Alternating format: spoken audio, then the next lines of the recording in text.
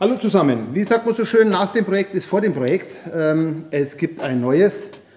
Mein Enkel wünscht sich einen kleinen Hocker und dazu habe ich hier jetzt erstmal ähm, einen 1 Meter Brennholzklüpfel aus Buche hier zerschnitten äh, in 33 cm Stücke, weil ich brauche 29 cm lange Beine, vier Stück. Und jetzt werde ich mal versuchen, hier aus diesen Klüpfeln ähm, Beine zu drehen. Ja, fangen wir halt mal an.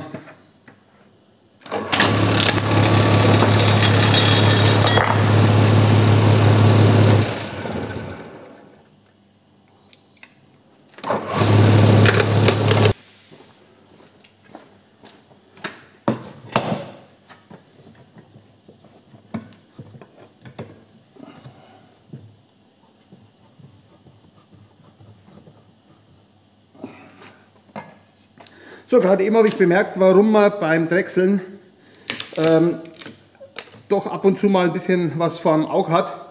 Gerade kam hier irgend so ein Drum geflogen, so ein Drum Rinde oder was. Das hat hier ganz schön geschnalzt, also weiter im Text. Moment. So, langsam ist aus so einem unförmigen Klüpfel hier schon mal wenigstens so was annähernd wie rundes geworden. Jetzt hoffe ich nur, dass ich überall genügend Material habe. Hier ist noch ein fürchterlicher Schlitz drin, dass ich ein schönes rundes Bein bekommen. Also mittlerweile kann man hier auch jetzt einigermaßen drüber fahren mit, dem, mit, dem, äh, mit der Schubröhre, mit dem Drehwerkzeug, ohne dass einem gleich immer halbwegs alles um die Ohren fliegt. Und kann jetzt mal, nachdem jetzt das ruhiger läuft, mal anfangen, sich eine runde Form zu machen.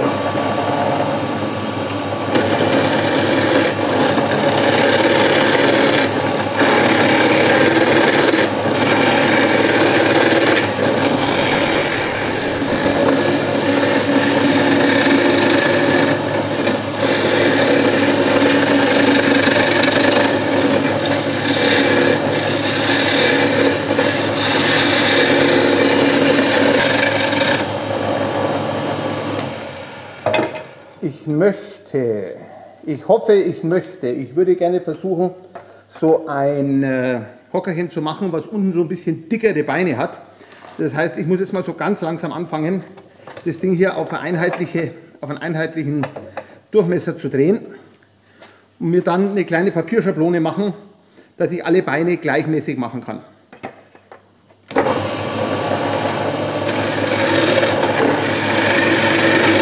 Jetzt haben wir hier zumindest mal ein einigermaßen rundes Stück.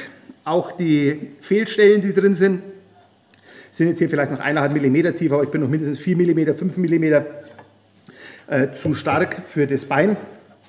Und jetzt mache ich mir mal eine Schablone. Ich habe mir hier jetzt mal so eine Schablone gebaut, wie ich mir so ein Stuhlbein ungefähr vorstelle. Und jetzt brauche ich einen Bleistift. Und jetzt übertrage ich mir hier mal ein paar so markante Stellen von der Schablone. Das ist die dickste Stelle. Hier geht es wieder auf dünn und hier ist ungefähr Feierabend.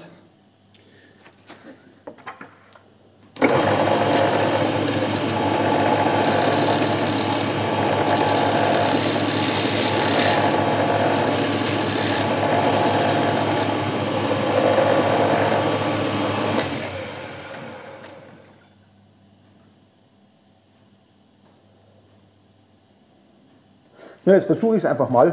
Mal sehen, wie weit ich komme.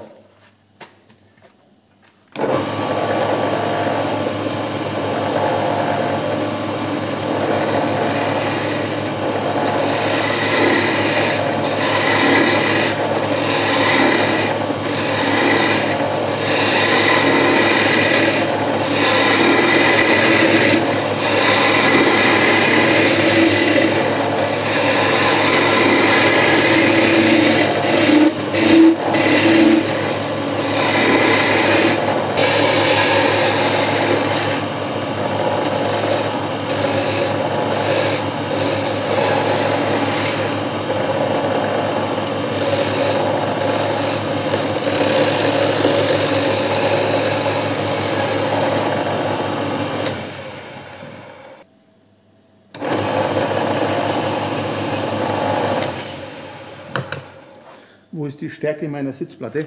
Da.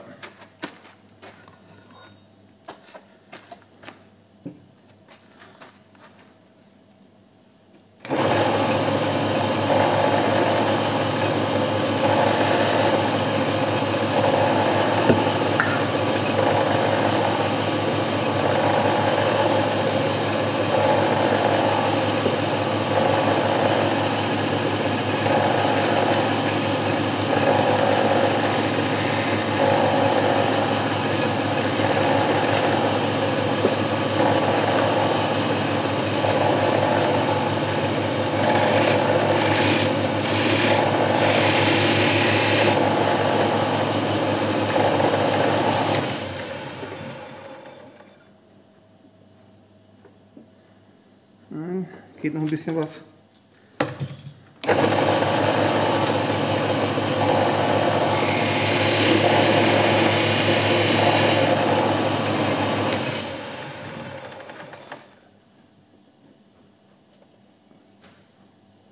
Okay, 26,3, halber Millimeter noch.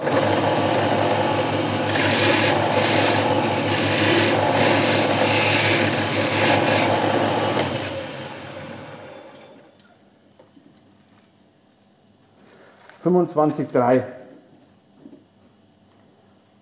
Gut, passt. Das muss ich jetzt durchziehen bis am Rand raus in der Stärke weil das kommt dann in den Stuhl rein und hier seitlich geht es dann mit dem Stuhlbein weiter.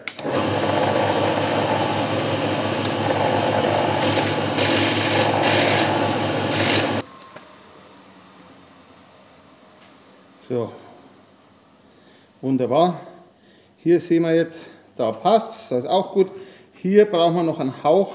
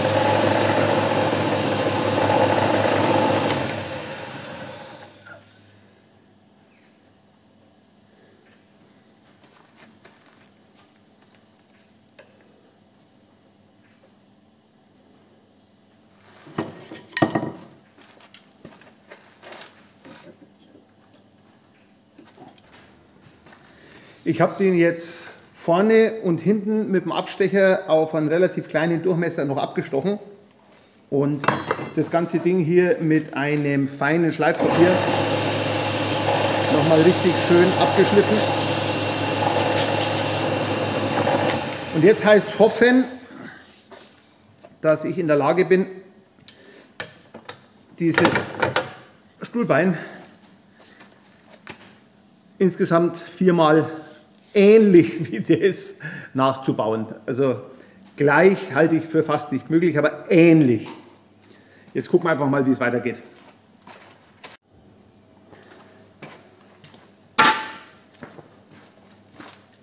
Und weiter geht der Spaß mit dem nächsten Rohklüpfel.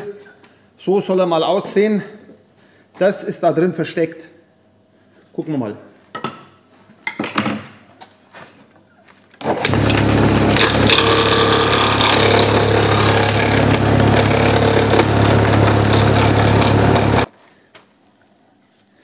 Mittlerweile habe ich vier Beine, die zumindest, ich sag mal, ähnlich aussehen. Äh, nicht absolut identisch, aber zumindest kann man erkennen, dass es vier Beine sein sollen. Jetzt muss ich mich über die Sitzfläche machen. Oben äh, und dazu hole ich mir zwei von meinen äh, Brettern, die ich da organisiert habe. Schneide mir die zurecht, hobel die und nachdem die nur 25 sind, ich aber 30 brauche, muss ich hier ein Stück anleimen.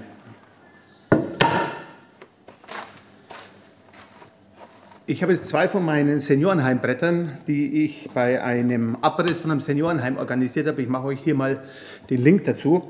Ähm, habe ich jetzt gehobelt und geschnitten und habe jetzt mal die schönsten Schnittkanten rausgesucht, die hier am besten fluchten und passen und auch vom, vom Bild her einigermaßen passen und die leim ich jetzt zusammen.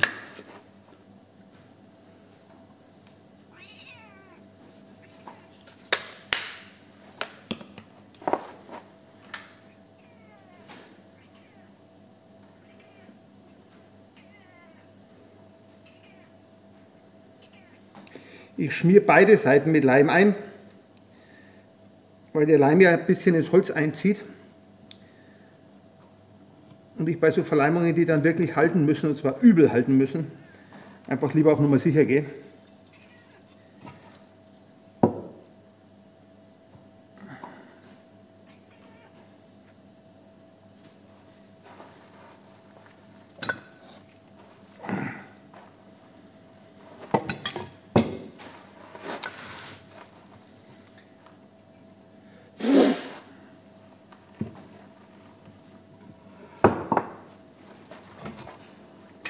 Ich habe hier jetzt keine Hölzer, die ich unterlege oder ähnliches, weil sich das vermutlich ganz gut spannt über die Größe von den Brettern und ich sowieso das hinterher nochmal absägen werde.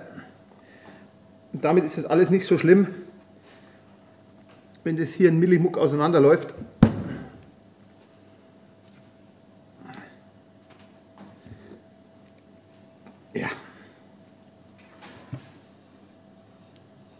Perfekt. Ich muss das hinterher sowieso nochmal hier ringsrum je 5 mm abschneiden. Und damit kann ich es jetzt jederzeit hier direkt auf die Kante spannen. Wenn das jetzt schon end wäre und, und schön, dann würde ich hier noch was unterlegen, damit keine, keine Dellen entstehen oder sowas. So, hier bin ich ohne spürbare Kante. Hier läuft es auch. Das bringe ich jetzt mal raus. Draußen hat es 25 Grad oder was, du stellst in die Sonne, dann wird es schneller trocken.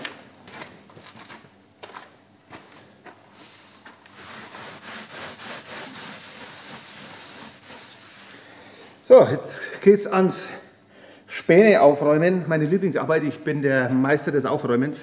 Das weiß jeder, der mich kennt. Wenn ich es verhindern kann, lasse ich es sein, aber es hilft nichts. Jetzt müssen wir irgendwie mal hier durch. Das schaut aus wie Sau hier. Also müssen wir zumindest mal so weit aufräumen, dass wir wieder einigermaßen arbeiten können.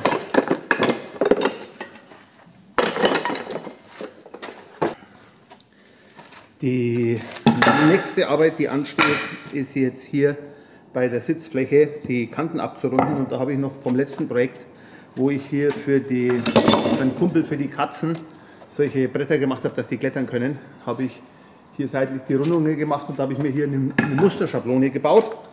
Und die kann ich jetzt hier wunderbar nehmen für einen Kopierfräser und kann die hier einfach mal wiederverwerten.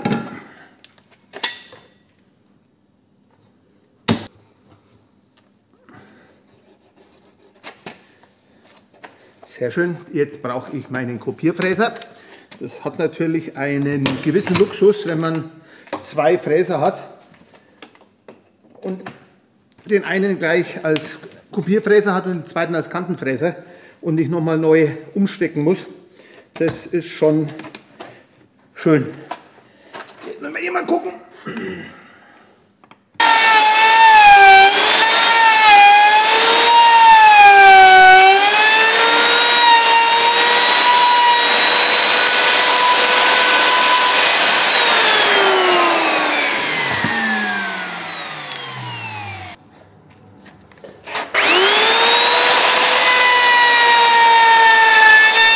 Die vier Ecken, die vier Ecken sind rund. Jetzt geht es ans Kantenbrechen. Dazu braucht man den Kantenfräser.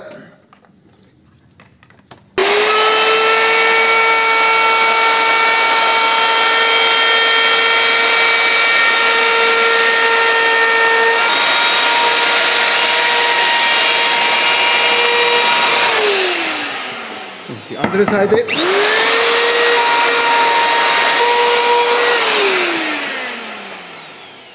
Wunderbar. Alles super.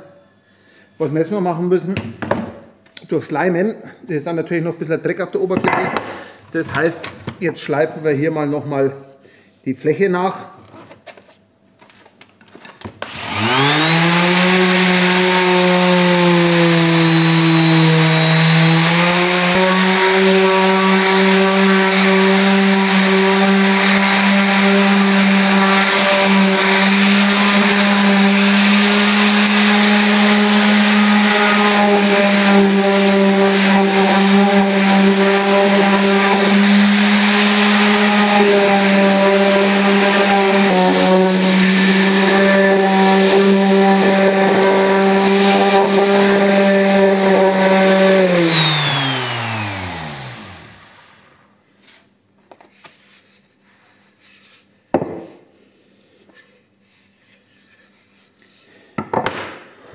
So, jetzt zählt Wie kriegen wir das hin mit dem Bohren?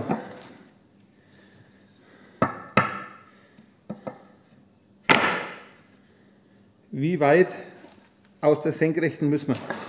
Nee. Das ist in Ordnung. Das ist in Ordnung. Dann gehen wir hier mal 10 raus. Die Markierungen machen für die Löcher mit 4,5.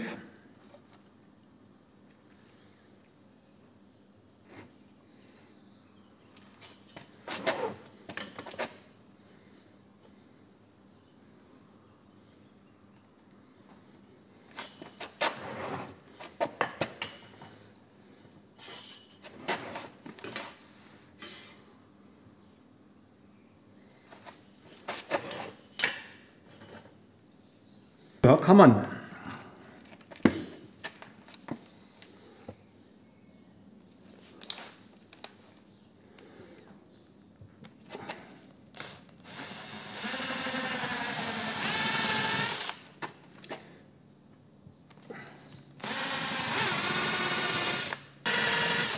So, ich habe die hier einfach mal angemalt, angekörnt, dass ich beim Bohrer später nicht mehr so verrutsche.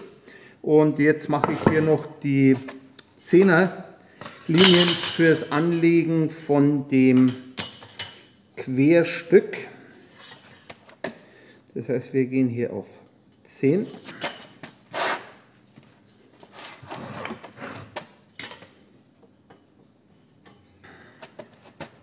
Jetzt habe ich meine Markierungen, wo ich das Querholz anlege. Meine vorgebohrten Löcher, jetzt muss ich dann nur noch mit der Tiefe aufpassen. Da muss ich jetzt nochmal So, leider gab es eine blöde Überraschung und zwar habe ich ja die Beine auf 25,3 mm ungefähr alle äh, gedrechselt und geschliffen.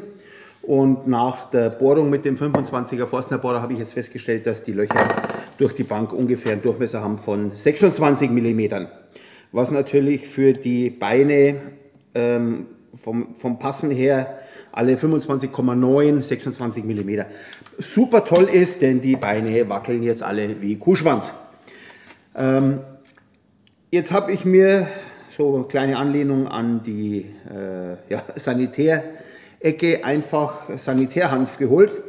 Äh, umwickel die hier mit Sanitärhanf, ziehe die hier sauber rein, mache das Ganze noch mit etwas äh, zwei Komponentenharz statt Weißleim und dann sollte das an sich kein Thema sein. Jetzt stellt sich aber die Herausforderung, dass der Winkel der Beine passen muss.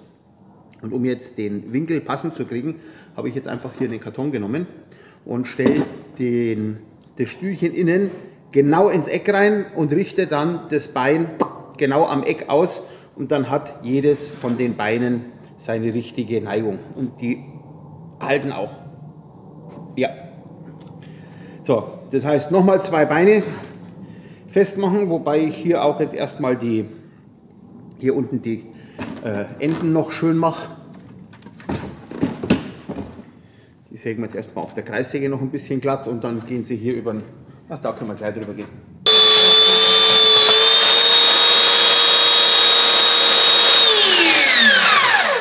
Ja, der passt. Und den müssen wir vorher nochmal über die Kreissäge jagen.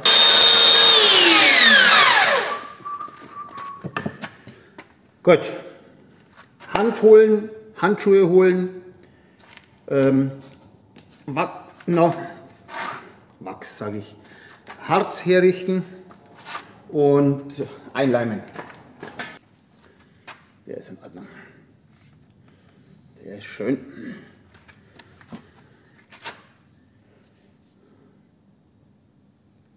Ja, da brauchen wir jetzt dann erst einmal einen noch was schön für das zweite Bein.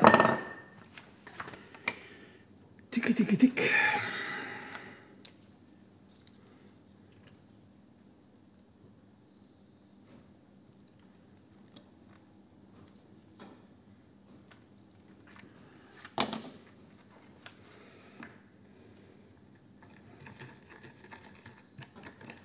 So, das müsste eigentlich für beide Beine reichen. Jetzt stecken wir beide Beine rein und dann wird er innen in der Kiste ausgerichtet.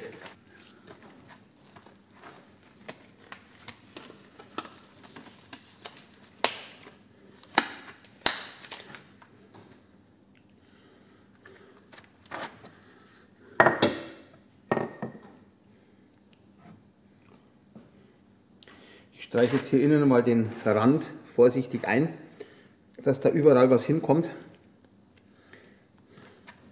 Und dann als nächstes hier das Bein ein bisschen. bevor wir mit dem Hanf anfangen.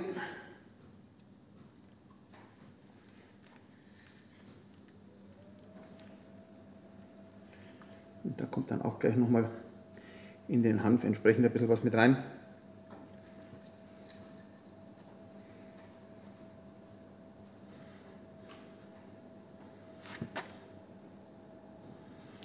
Es könnte, könnte reichen von der Menge. Ich gehe mal einmal drüber. So, und jetzt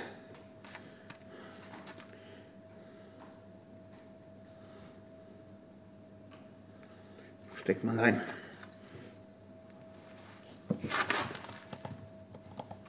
Gut. Und das nächste Bein.